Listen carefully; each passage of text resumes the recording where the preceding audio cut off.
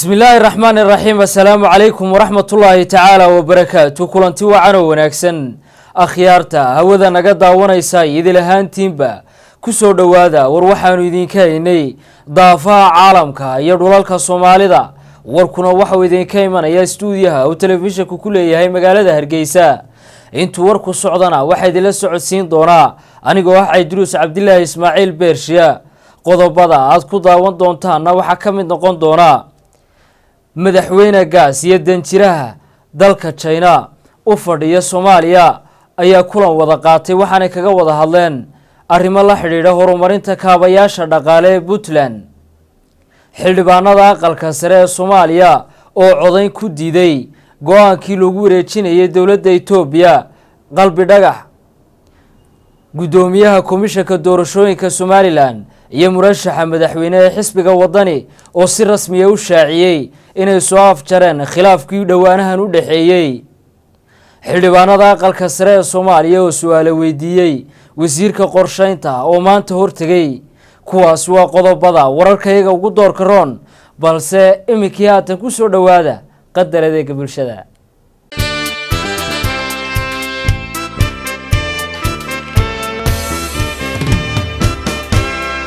baarlamaanka soomaaliya ayaa codayn ku diiday qaraarkii xukuumadda ee etoobiya loogu dhiibay qalbi dhagax siduu faahfaahinta warkaasi magaalada muqdisho inooga soo diray wariyahayaga cabdicasiis riyeli ku saabsanaa dhegaysiga warbixin ku aadan qaraarkii xukuumadda lixda setembar ee dhiibista cabdikariin sheekh muuse qalbidhagax oo saddex iyo labaatankii agoosta ay gacanta ku soo dhigeen ciidamada maamulka galmudug kadibna dowladda soomaaliya loo soo gudbiyey iyadoo siddeed iyo labaatankiina loo gacangeliyey amba loo dhiibay dowladda ethoobiya kadib qaraarna ay ka soo saartay xukuumadda lixdii setembar ay ku ogolaatay arrintaasi gudoomiyaha guddiga arrintaasi loo xil saaray cali yuusuf cali xoosh ayaana warbixinta xildhibaanada baarlamaanka ka hor akhriyey cahdiga waxaa u soo waxaa u soo baxday in guddiga waxaa u soo baxday in gudbinta cabdikariim sheekh muuse qalbi dhagax aan loo marin hab sharci ah lagana talagelin hay'adaha garsoorka hay'adaha garsoorka iyadoo isla markaa ay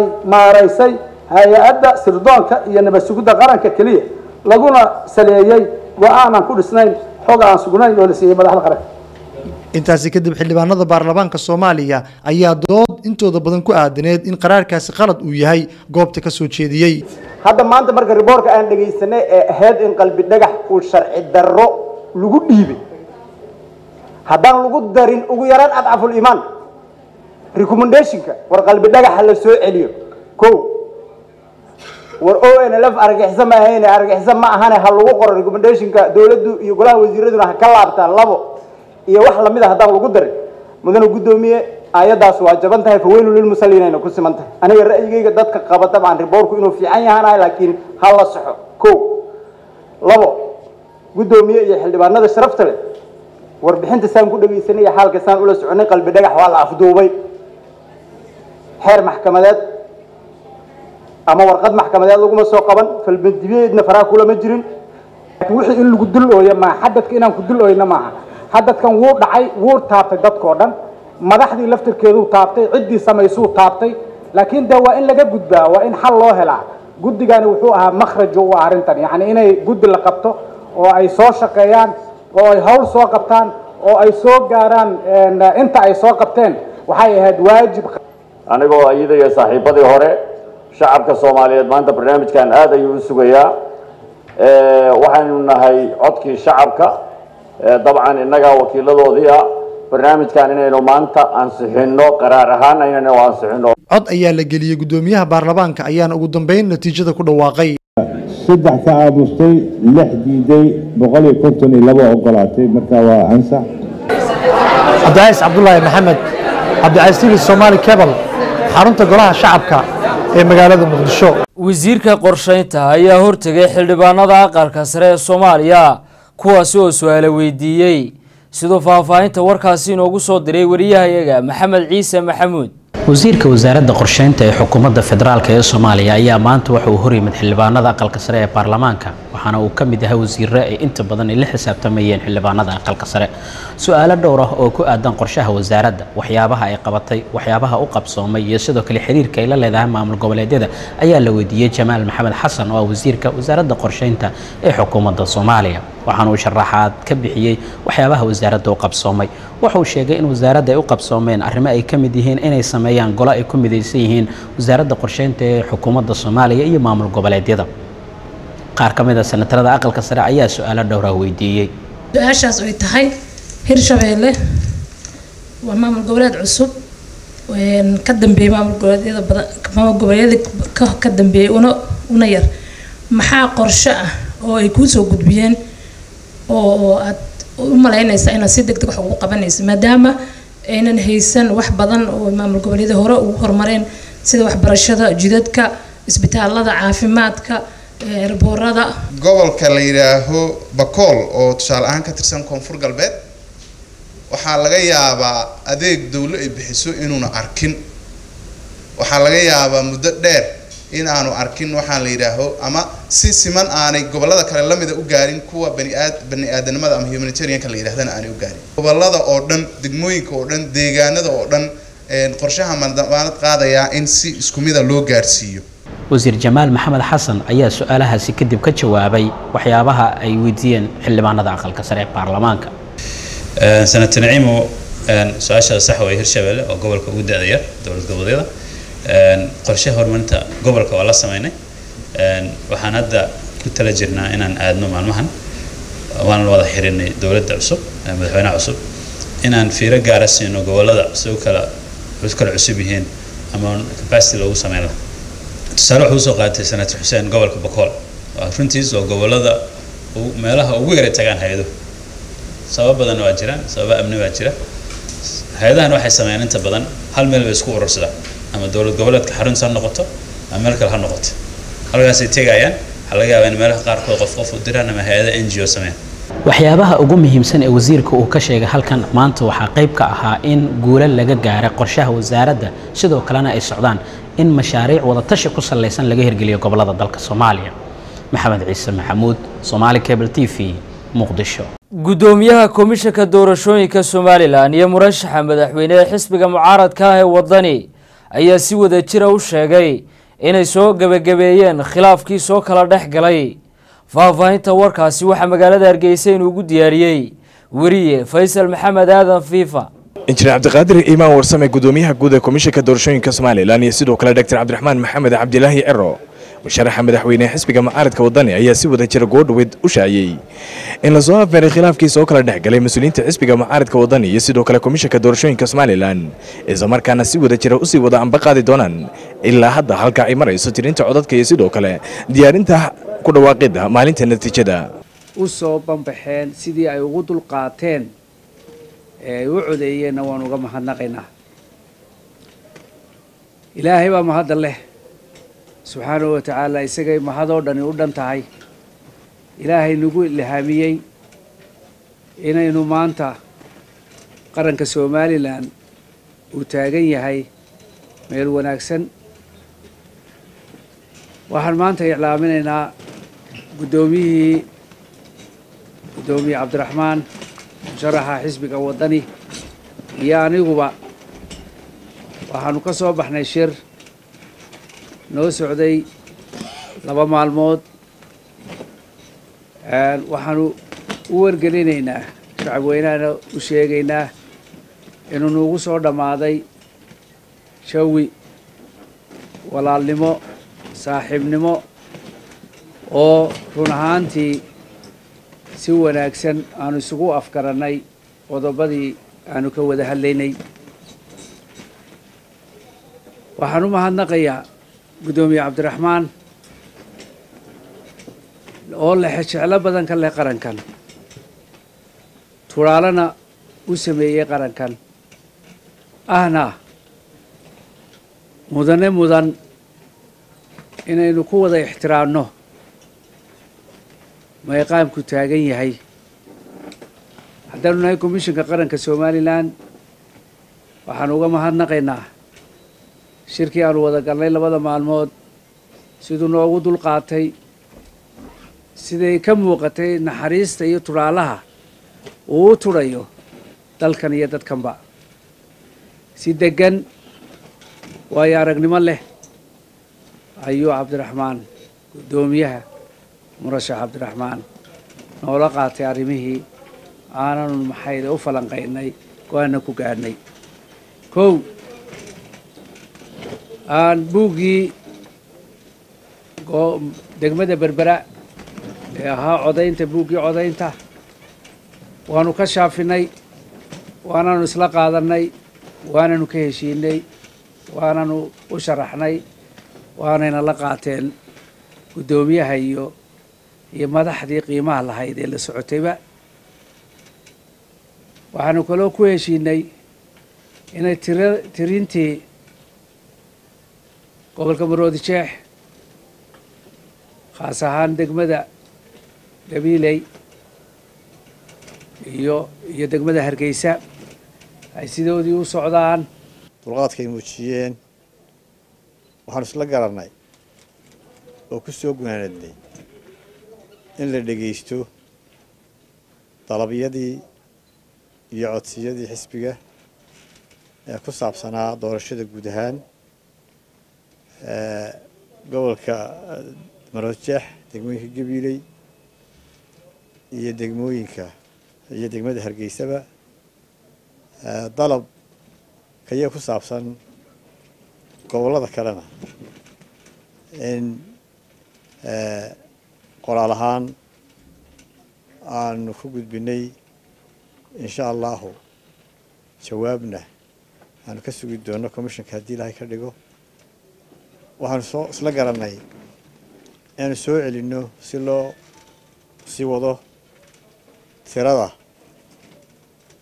guud ee gobolka maroodijeex labada degmaba degmada gabiiley iyo degmada hargeysaba waxaa kaloo dee saa ka warqabtaan arrinta ku saabsan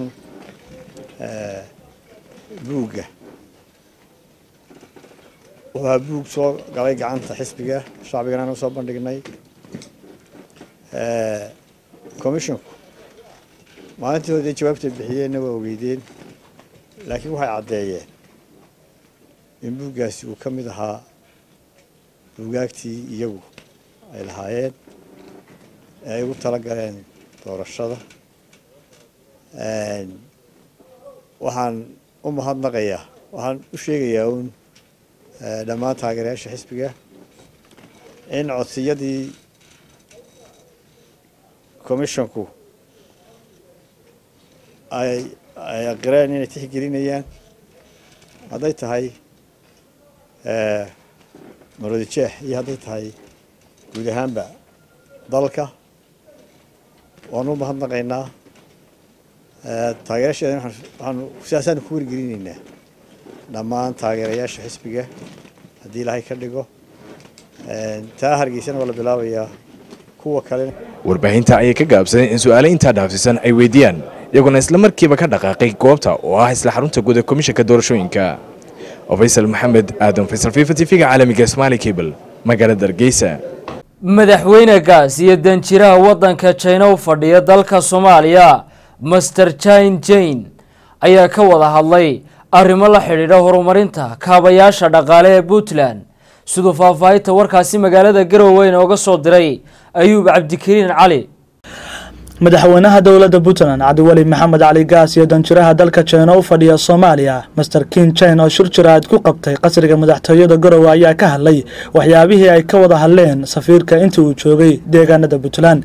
Madaxweynaha dowladda puntland cabdiweli maxamed cali gaas ayaa sheegay in safiirka jina ee soomaaliya ay ka wada xaajoodeen sidii loo adkeyn lahaa xiriirka labada dal iyo sidii dowladda jina uga qayb qaadan lahayd maalgashiga ka socda deegaanada puntland ambasadorka cusubna maanta ayuu shalay daraad. Ayuu inuu ku yimid. Muddo wuxuuna la joogay saddex cisho ah oo uu indhaidheynaya puntland nabadgelyadeeda horumarkeeda iyo inuu wax badan ka ogaado dalka gaar ahaan mandiqadan amase puntland. Ambasadorka wax badan baan ka wada hadalay oo ay ka mid tahay horumarinta mashaariicda iyo in aan tusno puntland inay u gudubtay horumar iyo gaar ahaan kaabayaasha dhaqaalaha. Aanuna sameyno xiriir dhow oo ka dhexeeya puntland iyo iyo dowladda china gaar ahaan iyo arrimaha soomaaliya guud ahaan intaba. Laakiin waxaan wax badan ka wada hadalay sidii gaar ahaan kameriyaasha china ay u maalgashan lahaayeen puntland maadaama ay tahay gobol safe ah kheyraad badan oo dabiiciyana leh.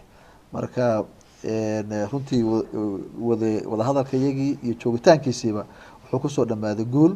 Waxaan rajeynayaa marka isagoo faraxsan ku faraxsan puntland iyo qaabkii u jirto iyo dowladnimadeeda iyo horumarkeeda iyo nabadgelyadeeda inuu naga tago ayaan rajeynayaa aada iyo aad buu umahadsan yahay ambasadorku runtii aad baan ugu mahadnaqaya imaatinkiisa guriga khayr baan rajeynaya danjiraha dalka china u fadhiya soomaaliya master king chin oo dhankiisa ka mahad celiyey sida wanaagsan ay madaxda puntland u soo dhoweeyeen waxa uu sheegay in mas'uuliyiinta puntland ay ka wada hadleen sidii dalkiisa uga qayb qaadan lahaa horumarinta kaabayaasha dhaqaalaha puntland. Puntland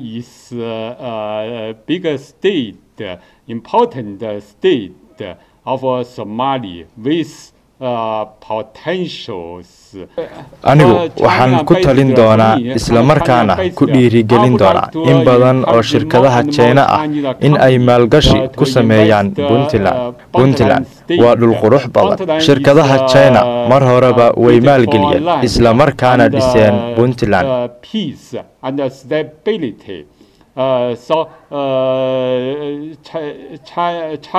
sida c c e c c waxa aanu hadda gacan ka geysan doonaa garoonka gaalkacyo waddada isku xirta ayl iyo garowe.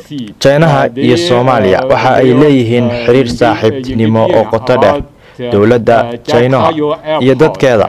Waxa ay taageerayaan nabadda xasiloonida dhisidda maalgashiga iyo horumarinta soomaaliya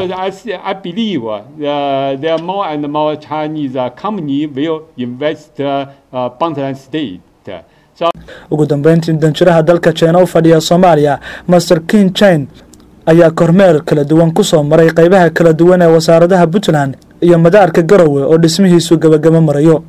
Ayib cabdikariin cali somaali cable t v garowe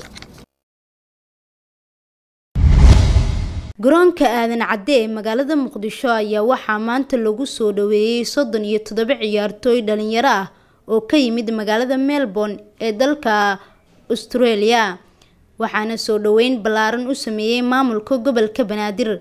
Macalinka kooxda ciyaartooyda soomaaliyeed ee ka yimid magaalada melbourne xuseen xarakow ayaa ka sheekeeyey ujeedada xilligan ay u yimideen magaalada muqdisho iyo howlaha ay ka qaban doonaan. Ujeedadan u nimid waa isdhexgal bulsho runtii ma aha sports keliya ee dhallinyarada australia aan ka keenay waa waxay jeclaysteen inay dadkoodii soo bartaan dhallinyarada ay wadankan khaasatan inay soo bartaan ay dhexgalaan ay la sheekaystaan sportigana wuxuu ka mid yahay yani brishkii waxaa dhisi lahaa waa sabab aan sportigaas ku nimid laakiin isdhexgalkaasaa ka muhiimsan. Waxaan aan rajaynaynaa in bulshada kale caalamka ku nool soomaalida kale oo canada iyo waddamada kale ku nool maraykanka anaga naga badan runtii tiri ahaan inay nagu daydaan iyagana ka soo qayb galaan arrimahan oo kale mustaqbalka. Gudoomiyaha ciyaartooyda gobolka banaadir xasan aadan yabro wiish ayaa sheegay in kooxdan ay la dheeli doonto kooxa ka dhisan gobolka banaadir. Kooxdaani waxay u timid gobolka banaadir waxayna la ciyaari doontaa kooxa ka dhisan gobolka banaadir. Insha allah waxay nala joogi doonaan toddobaad.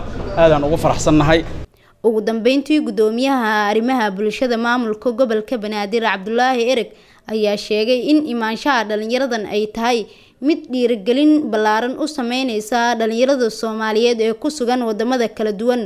Waxa uuna xusay in maamulka gobolka banaadir ay mar walba diyaar u yihiin in ay soo dhoweeyaan dhalinyarada soomaaliyeed. Haddaan nahay maamulka sare ee gobolka banaadir waxaa farxad weyn noo ah inaan soo dhoweyno wiilasheennii oo nooga yimaada qaaradda austraaliya taas annaga waxay noogu fadhisaa macno badan oo ah dhiirigelin iyo isku xirnaan in dhallinyarada soomaaliyeed meel walba ay joogaan ay isku xiran yihiin islana damqanayaan ayna ka dhexayso walaalnimo dhab ah. Martisoorkan waa nugu lahaayeen waa waajib ay nugu lahaayeen. Inaan soo dhaweyno waa waajib ay nugu leeyihiin. Inay waddankooda yimaadaan waa waajib ay nugu leeyihiin. Wax kaloo ka badanna waa nugu leeyihiin. Waxaan mar labaad iyo mar saddexaad u mahad celinayaa dadkii soo abaabulay iyo waalidkii nagu aaminay carruurtooda inay imaan karaan caasimadda ummadda soomaaliyeed oo ay qayb ka yihiin. Kooxdan ciyaartooyda ah ee ka timid magaalada melbourne ayaa magaalada muqdisho waxa ay ku sugnaan doonaan muddo toddobaad ah iyagoona la dheeli doono kooxo kala duwan ee ka dhisan gobolka banaadir. Zeyne maxamed aadan somaali cable magaalada muqdisho. Wasiirka maaliyadda puntland cabdilaahi siciid caarshe ayaa casho sharaf u sameeyey. Dhalinyarada isxilqaamayaasha qardho siduu faahfaahinta warkaasi inoogu soo diray wariyahayaga maxamed nadiif shire.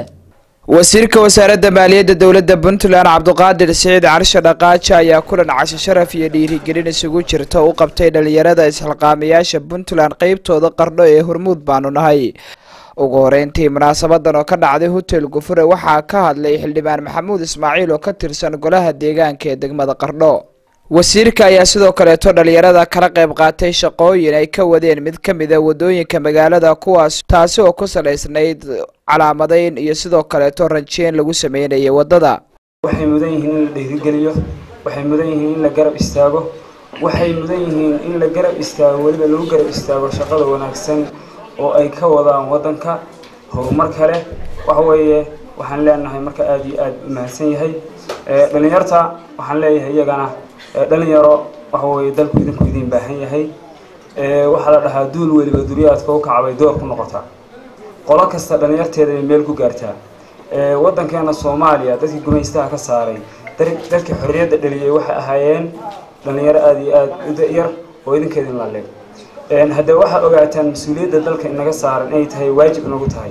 Qof kastoo inaga inaga midna ay tahay inuu ka qayb qaato horumarka wadanka cali yuusuf maxamuud gudoomiyaha isxilqaamayaasha puntland qeybtooda qardho iyo sidoo kaleeto axmed muuse cali oo ah xogayaha guud ee dhalinyarada isxilqaamayaasha puntland oo goobta ka hadlay waxa ay ka warbixiyeen waxyaabaha u qabsoomay muddadii ay joogeen. Dhalinyaradan aada arkaysid waa dhalinyaro isxilqaamayaal dhalinyaradan waxay u istaageen horumarka dalkooda siday u qurxin lahaayeen. Mudane wasiir aad baan kaaga mahad celinaynaa horta middaas. Midda labaad dhallinyaradan ujeedkooda waxa weeye in ay dib u soo nooleeyaan horumarka deegaanka. Mudane wasiir haddaan nahay isxilqaamayaasha puntland waxaan ku faraxsan nahay haddii mid naga mid ah ama laba naga mid ah ama degmooyin naga mid ah ay casimaan wasiiradu dhiirigeliyaan. Waxay noola mid tahay annagoo dhammaantay nala dhiirigeliya taa waa kaaga mahad celinayna qaar ka mid a ka soo qaybgalayaasha iyo madax ka socotay dowladda ayaa iyaguna goobta ka hadlay. Dowladaha hoose ayaa lagu yaqaanay inay dhulka calaamadiyaan waddooyinka hagaajiyaan xaaqaan. Halkan waxaan ugu imid koox yaroo dhalinyaro ah isla markaana hawshii wada. Haddii aan weydiiyoon ku idhi wasaaradeed ka tirsan tihiin wasaaradeed ka tirsan tihiin hay'adee idin wada waxay igu idhahdeen waxaan nahay dad u taagan inay dalkooda iyo deegaankooda qurxiyaan. Dabeetana waxaan idhi waxaa loo baahan yahay marka in la aasaaso wasaaradda isxilqaamayaasha puntland. Siyaasadda aad aad ka maarmaysaani waa siyaasadda isqabqabsiga ah waa siyaasadda iska horkeenka ah waa siyaasadda aan meelay u socoto iyo majalahayne hebel ku dhe keliya taqaana. Laakiin siyaasadda kama maarmi kartaano waxa weeye maanta caalamku waxa ku socda waa siyaasade waxaa la idinka baahan yahay siyaasad hufan oo idin midaynaysa oo mid idinka dhigaysa oo aad isu taagtaaniin inaad idinku hormuud ka noqotaan siyaasadda waddanka. Sida aad hadda hormuud u tihiin dhinac walba inaad hormuud ugu noqotaan baa laydinka rabaa. Wasiirka wasaaradda maaliyadda dowladda puntland cabduqaadir siciid carshe dhaqaajo waxa uu sheegay inay muhiim tahay in la taageero dhalinyarada islamarkaasna lagu dhiirigeliyo shaqada isxilqaanka ah ee ka wadaan deegaanada puntland. Wasiirka ayaa kula dardaarmay dhalinyaradu inay halkaasi ka sii wadaan shaqada. Dhalinyaro wadaniyad baan isku ogaanaynaa in lagu shaqeeyo. Wadaniya haddii qof ka shaqeeyo daacadnimada ku shaqeeyo adduun iyo akhiradoona wax waayi maayo bannaanka hadduu qofku xaaqo cidlada ah wax waayi maayo marka aad baad u mahadsantihiin waa idinku dhiirigelinayaa in dadka wanaagsani dowladda ku soo biiraan. Waliba dhallinyarada haddana golaha wasiirada waa ku jiraan wasiirro badan baa ku jira oo dhallinyaro ah. Marka hoos ha laga soo bilaabo dowladda ha la soo galo waxa la soxo haddii alla ku ran yahay maskaxdiina fiican oo fireysha aad baad u mahadsantihiin inahaasu baan rabaa inaan idhaahdo. Maxamuud adiif shire somaali cable t v qardho wasiirada ciyaaraha iyo dhalinyarada ee dowlad goboleedyada iyo dowladda federaalka soomaaliya ayaa shir uga furmay magaalada kismaayo. Siduu faahfaahinta warkaasi inoogu soo diray wariyahayaga saabir cabdiqaadir warsame honesti wasaaradaha ciyaaraha iyo dhalinyarada heer dowlad goboleed iyo heer federaal ayaa shir looga hadlaya qabsoomidda ciyaaraha gobollada dalka ee horaanta sanada cusub lagu wado in ay ka dhacdo magaalada kismaayo uga furmay magaalada kismaayo ee xarunta kumeel gaarka ee maamulka jubbaland. Shirkan u furmay wasaaradaha ciyaaraha iyo dhalinyarada dowlad goboleedyada ka dhisan dalka soomaaliya iyo dowladda federaalk soomaaliya ayaa waxaa shir gudoominaya wasiirada ciyaaraha iyo dhalinyarada dowladda federaalk soomaaliya khadiijo maxamed deeriye. Furitaanka shirka wasaaradaha ciyaaraha iyo dhalinyarada dowlad goboleedyada xubnaha ka ah dowladda federaalk soomaaliya iyo dowladda federaalk soomaaliya uga furmay magaalada kismaayo ayaa waxaa goobjoog ahaa madaxweyne ku-xigeenka koowaad ee jubbaland maxamuud sayid aadan. Ugu horeyna warbaahinta lala hadlay sheegayna ka jubbaland ahaan in ay dhammaystireen waxyaabihii looga baahnaa ciyaaraha ka dhacaya gobolkani jubbada hoose gaar ahaana caasimadiisa kismaayo. Waxaan ku faraxsannahay inaad u doorataan dowlad goboleedka jubbaland magaalada kismaayo in lagu qabto ciyaaraha tartanka dowlad goboleedyada soomaaliya ee gobolka banaadir. Arrintaasoo daba socota go'aanadii hore loo gaaray bishii juun wafdigii golaha wasiirada ahay oo halkan shirka ku qabsaday wasiiraddan ay ka mid ahayd ay ku iclaamisay in halkan loo asteeyey in ciyaarahaas ay ka dhacaan. Annaga dowlad goboleedka jubbaland waa u diyaargarownay.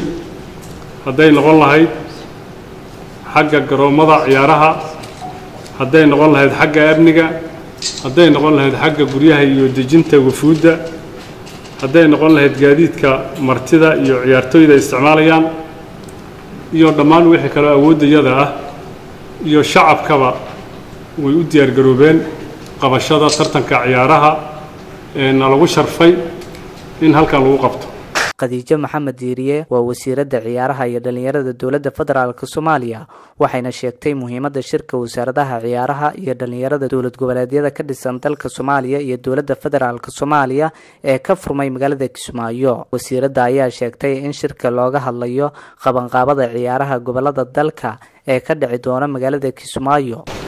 Runtii maanta shirweynaha qabanqaabada qabashada tartanka cayaaraha dowlad goboleedyada iyo gobolka banaadir oo aan maanta u fadhinno waa shir aada muhiim noogu ah. Haddii aan nahay bahda wasaaradaha dhallinyarada iyo isboortiga heer federaal heer dowladaha federaalka xubnaha ka ah iyo gobolka banaadir. Waayo waxaan leenahay wada shaqayn dhow waxaana naga wada go-an dhammaanteen mudane madaxweyne horumarinta dhallinyarada iyo isboortiga.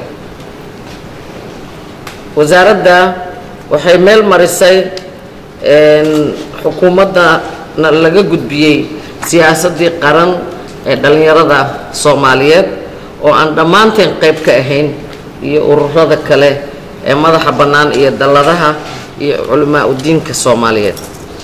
Taas marka waxaan rabaa fursadda maanta shirweynahan aan iskugu nimid inaan kulligeen isugu wada hambalyayno waxaan gelaynaa haddeer kulankii qabanqaabada aan halkan u nimid. Sida la wada ogsoon yahay ajandahana noogu jirto waxaan tegaynaa kormeer. Waayo mas'uuliyadana naga wada saaran meesha dad intaas la iskugu keenaayo in aan kulligeen wada ogaano. Qaabkii loo soo qaadi lahaa ama transportationka iyo dejinta accommodationkooda dadkii meelshaan la keeni lahaa iyo dhinaca farsamo ee garoonka iyo qaabka uu u diyaarsan yahay iyo gaadiidka kale ee magaalada. Inta ay joogaan kooxahaas ka kala socdo dowlad goboleedyada iyo gobolka banaadir taasoo aan filaya inay gacan weyn naga siin doonaan dhinaca farsamada xiriirka kubadda cagta ee soomaaliya wasiirada ciyaaraha iyo dhalinyarada dowlad goboleedyada ka dhisan dalka soomaaliya iyo wasiirada ciyaaraha iyo dhalinyarada dowladda federaalk soomaaliya ayaa kormeer ku tegay garoonka weyn ee kubadda cagta ee lagu wado in lagu qabto ciyaaraha gobollada dalka halkaas oo ay ka socotay dib u habeyn ballaaran islamarkaana laga dheehanayay u diyaargarowga iyo martigelinta ciyaaraha gobollada dalka. Horaanta sanada cusub ayaa lagu wadaa in magaalada kismaayo ay martigeliso ciyaaraha gobollada dalka ee lagu qabanayo magaalada kismaayo. Saabir cabdulqaadir ursame saabir honesty telefishinka soomaali cable kismaayo. Guud ahaanba waxa uu qodob wareedkaasi guniya gunaanad u ahaa warar waxaanu idinka haynay daafaha caalamka iyo dhulalka soomaalida warkuna waxauu idinka imanayay stuudiyaha uu telefishanku ku leeyahay magaalada hargeysa. Taniyo intayn ku kulmayno warkan warka xiga. Anigii akhyaartaygala qayb qaadatay tabinta iskudubaridka iyo soo diyaarintuba waxaanu idinkaga tegaynaa. Assalaamu calaykum waraxmatullaahi tacaala wabarakaatu tusan iyo towbadda alle